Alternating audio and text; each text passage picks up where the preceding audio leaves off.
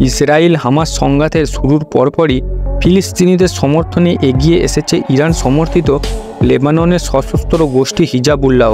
সীমান্তে ইসরায়েলি বাহিনীর সঙ্গে তাদের দফায় দফায় সংঘর্ষের ঘটনাও ঘটেছে। হিজাবুল্লাহ ইসরায়েলের জন্য কী ধরনের ঝুঁকি তৈরি করতে পারে এবং তাদের ভাণ্ডারে থাকা অস্ত্র ইসরায়েলের জন্য মাথা ব্যথার কারণ হতে পারে কিনা সে নিয়ে প্রতিবেদন করেছে ইসরায়েলি দৈনিক হারতেজ। যুদ্ধের শুরু থেকে ফিলিস্তিনিদের সমর্থনে ইসরায়েলের উত্তর অঞ্চলে রকেট ক্ষেপণাস্ত্র এবং ড্রোন হামলা চালিয়ে আসছে লেবাননের সশস্ত্র গোষ্ঠী হিজাবুল্লাহ। এই নিয়ে তেল আবিবের ঘুম হারাম।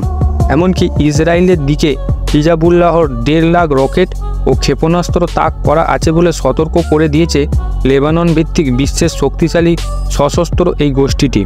সাম্প্রতিক হিসাব অনুযায়ী হিজাবুল্লাহর কাছে প্রায় দেড় লাখ রকেট এবং ক্ষেপণাস্ত্র রয়েছে, যার বেশিরভাগই দূরের লক্ষ্যবস্তুতে আঘাত আনতে সক্ষম। আর এটাই ইসরায়েলের মাথা ব্যথার কারণ। ইসরায়েলি গণমাধ্যমের সঙ্গে আলাপকালে Washington Center of Strategic and International স্টাডিজের গবেষক দলের সদস্য সান সাইক সতর্ক করে বলেছেন, হিজাবুল্লাহকে আরও অত্যাধুনিক এবং নিখুঁতভাবে আঘাত আনতে সক্ষম স্ট্যান্ড অফ ক্ষেপণাস্ত্র দিতে পারে Syria Iran O Russia Institute for National Security Studies এক নিবন্ধে বলেছে, হিজাবুল্লাহর কাছে বর্তমানে প্রায় চল্লিশ হাজার স্বল্প পাল্লার রকেট ইরানের তৈরি মাঝারি পাল্লার আশি হাজার ফজর থ্রি, ফজর ফাইভ রকেট রয়েছে। এছাড়াও দূরপাল্লার তিরিশ হাজার জিজ্জাল রকেট ও ফাতেও হান্ড্রেড টেন ক্ষেপণাস্ত্র রয়েছে।